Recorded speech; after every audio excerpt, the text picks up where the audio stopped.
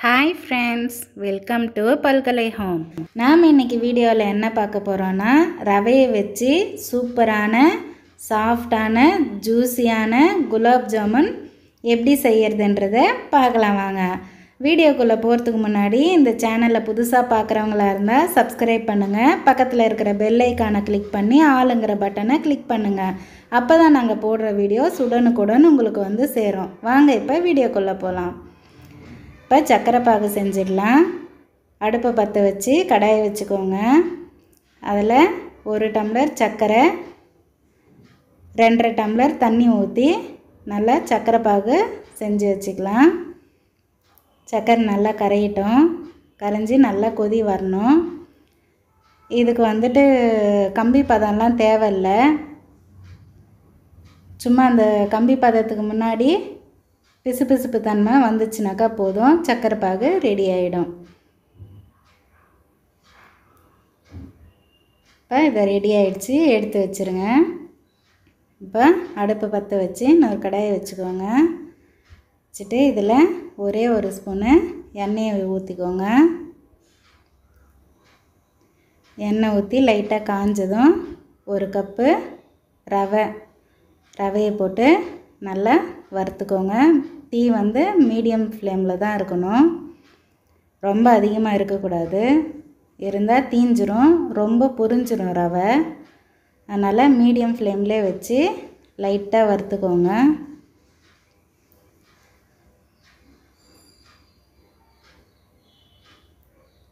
இப்போ இதுக்கு பால் சேர்த்துக்கலாம் வாங்க. பால் வந்துட்டு காய்ச்சணுன்ட்டு அவசியம் இல்லை. பச்சை பாலே தான். இது வந்து மூணு கப்பு பால் ஒரு கப்பு தண்ணி அப்படின்ற இதுவில் ஊற்றி வச்சுருக்கேன். மொத்தம் நாலு கப்பு தண்ணி பால் ஊற்றிக்கோங்க இந்த மாதிரி கட்டி இல்லாமல் கலந்து விட்டுக்கோங்க. கட்டி இருந்ததுனாக்கா இந்த மாதிரி தேய்ச்சி விட்டோம்னாக்கா கரைஞ்சிரும். தீ வந்து ஏற்றக்கூடாது மீடியம் ஃப்ளேமில் தான் இருக்கணும்.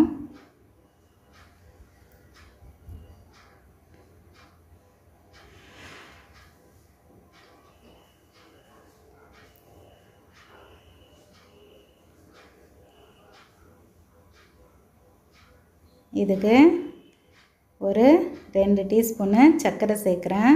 எதுக்குன்னாக்கா கலர் வரணுன்றதுக்காக எண்ணெயில் பொரிக்கும்போது கோல்டன் ப்ரௌன் வரணுன்றதுக்காக ஒரு ரெண்டு ஸ்பூன் சர்க்கரை சேர்த்துருக்கேன் ஒரே ஒரு பிஞ்சு உப்பு அந்த ஸ்வீட்னஸ்ஸு எடுத்து கொடுக்கணுன்றதுக்காக ஒரே ஒரு பிஞ்சு உப்பு போட்டுருக்கேன்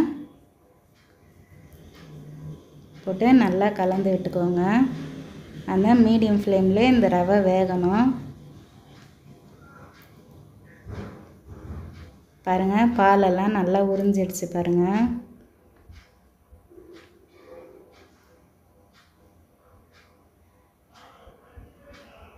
ரவை நல்லா வெந்ததுனாக்கா தான் குலாப் ஜாமுன் சாஃப்டாக வரும்.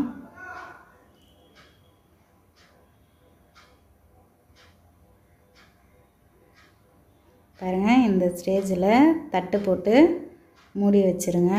மூடிட்டு கரெக்டாக ஒரு அஞ்சு நிமிஷம் இருந்துச்சுனாக்கா போதும்.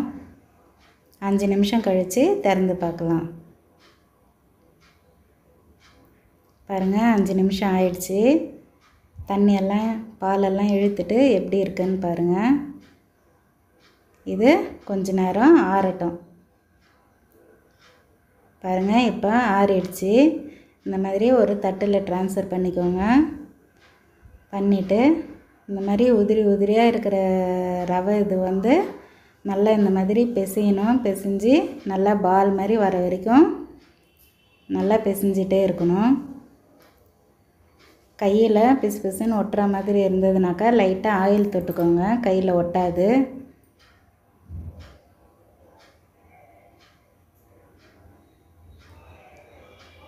எவ்வளோ அழுத்தம் கொடுத்து பிசைகிறோமோ அந்த அளவுக்கு ஜாமுன் சாஃப்டாக வரும். சப்பாத்தி மாவை எப்படி பிசைவோமோ அதே மாதிரி நல்லா அழுத்தம் கொடுத்து பிசைங்க. அப்போ தான் நல்லா சாஃப்டாக வரும் ஜாமுன்.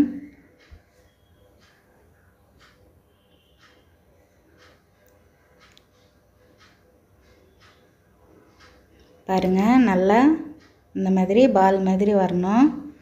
இந்த மாதிரி வர வரைக்கும் நல்லா அழுத்தம் கொடுத்து பிசைஞ்சிக்கோங்க. இப்போ இந்த மாவை உருண்டை பண்ணிடலாம் வாங்க. பாருங்கள் இந்த மாதிரி குட்டி குட்டி பால்ஸை பிடிச்சி வச்சுக்கோங்க.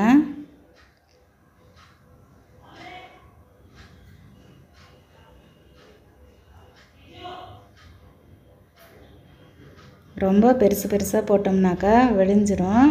அதனால் குட்டி குட்டியாகவே போட்டுக்கோங்க. இதே மாதிரி எல்லா மா மாவையும் உருண்டை பண்ணி வச்சிடலாம். பாருங்கள் நான் எல்லா மாவையும் உருண்டை பண்ணி வச்சிட்டேன். இப்போ எப்படி பொறிக்கலான்றதை பார்க்கலாம் வாங்க. அடுப்பு பற்ற வச்சு கடாயை வச்சுக்கோங்க. கடாய் காஞ்சதும் எண்ணெய் ஊற்றிக்கோங்க எண்ணெய் ஊற்றிட்டு ரொம்ப காயக்கூடாது. கொஞ்சமாக காஞ்சதுனாக்கா போதும். பாருங்கள் பபுள்ஸ் எதுவும் வரல. இந்த மாதிரி ஸ்டேஜில் தான் போடணும். எண்ணெய் ரொம்ப காஞ்சதுக்கப்புறம் போட்டோம்னாக்கா மேலே டக்குன்னு கோல்டு கலர் வந்துடும் உள்ளே வேகாத மாதிரி இருக்கும்.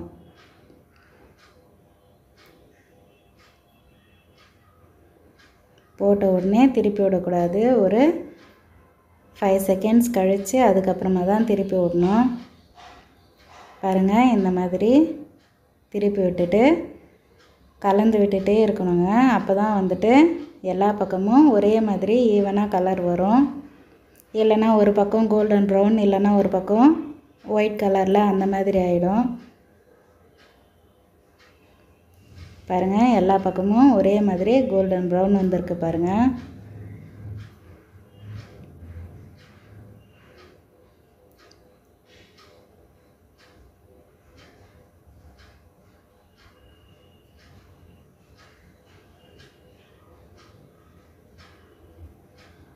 பாரு இந்த கலர் போதும். இந்த ஸ்டேஜில் நீங்கள் எடுத்துருங்க.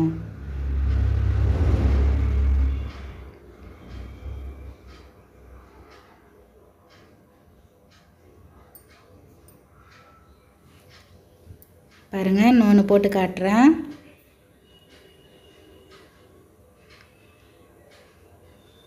ஒரு பத்து பத்தாவே போட்டு எடுத்துக்கோங்க.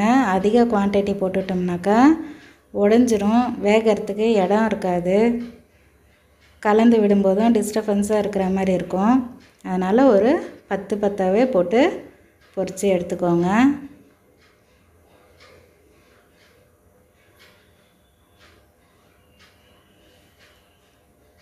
பாருங்கள் இந்த மாதிரி கலந்து விட்டுட்டே இருக்கணும். இந்த மாதிரி கலந்து விட்டுட்டே இருந்தோம்னாக்கா தான் எல்லா பக்கமும் ஒரே மாதிரியே கலர் வரும்.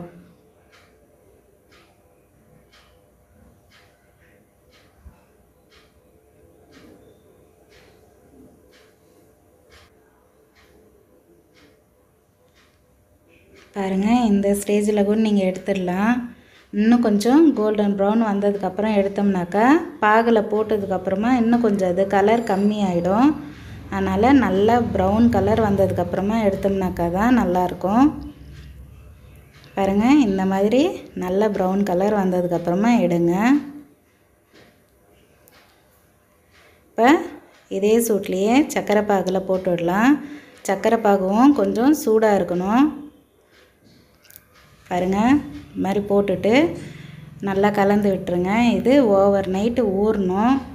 நான் நைட்டு செஞ்சு வச்சேன். இப்போ இது காலையில் பார்க்குறோம் பாருங்கள் எவ்வளோ ஜூஸியாக இருக்குது பாருங்கள் சாஃப்டாகவும் இருக்குது